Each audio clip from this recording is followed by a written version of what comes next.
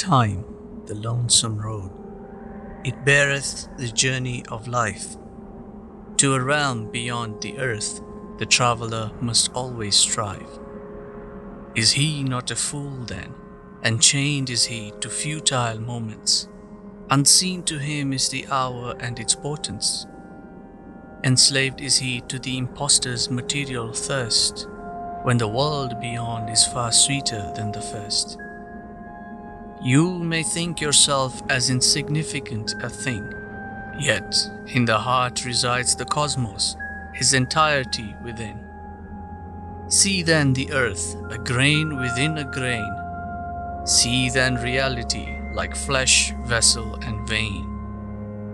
See then the heavens unravel, beauty like a blossoming flower. See then man eternal, in an eternity manifest of the hereafter.